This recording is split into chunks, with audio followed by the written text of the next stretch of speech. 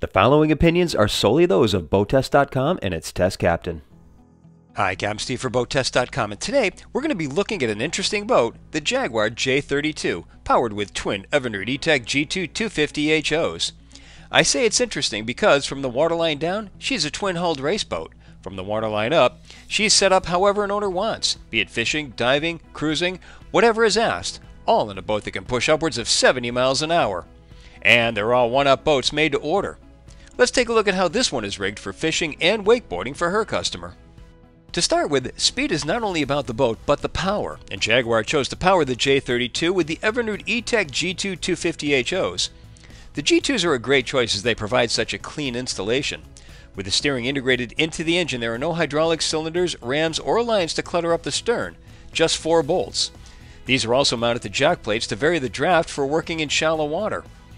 The cowls are color matched to the boat, and that's an easy thing to do as these engines come with the ability to choose separate colors for the top panel, side panels, and even the trademark Evinrude swoosh.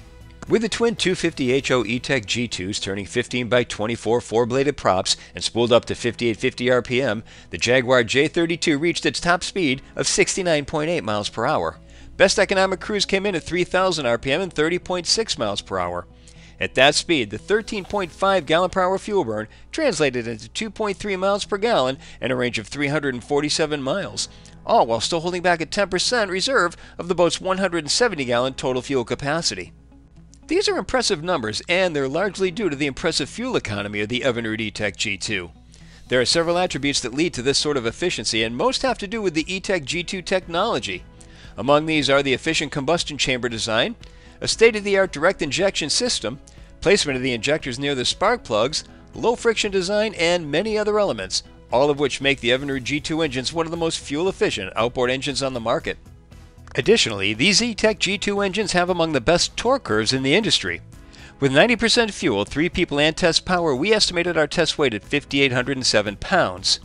At that weight, when we shoved the throttle down, we reached planing speed in an average 4.3 seconds and accelerated to 20 miles per hour in 4.5 seconds, with minimal bow rise. This is because the E-TEC two-stroke technology allows for a power stroke on every turn of the crankshaft, while four-stroke engines have only one power stroke out of four strokes and two turns of the crankshaft. The more horsepower that's available at the low RPM range, say from 500 to 2500 RPM, the more torque that's applied to the crankshaft and the greater the torque. Since every stroke is a power stroke, roughly twice as much power is applied to the prop shaft than with four-stroke engines with the same horsepower in the low and mid RPM ranges.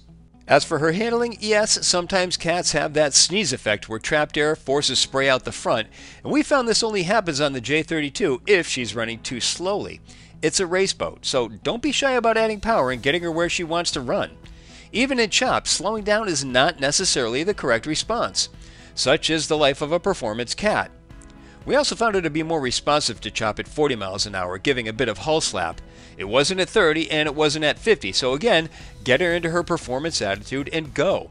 In fact, at 4,000 RPM and 45.3 miles per hour, she ran with a slightly less economic performance, but her speed was much better than the 30 mile per hour cruise. So again, she likes speed. Give her some. She has a 25 degree tunnel, allowing her to turn tightly but still remain flat. As for our look at her features, we'll start at the bow, where Jaguar uses beanbag chairs as removable seating so we can populate the bow or leave it open. Beverage holders are recessed into both the port and starboard bulwarks that we measured at 23 inches. Storage doors are just ahead, leading to void areas in both hulls. Underneath is SeaDek non-skid, and additional storage compartments are in the deck. Now as for the console, this customer requested an off-the-shelf model, but Jaguar does make its own consoles that are among other things, including a seat cooler in front, and the console is taller than this one's 44 inches, so you can step down into it for storage or ahead. This one does have a fixed front seat with nothing under the cushion. Behind the console, features start with an overhead electronics box.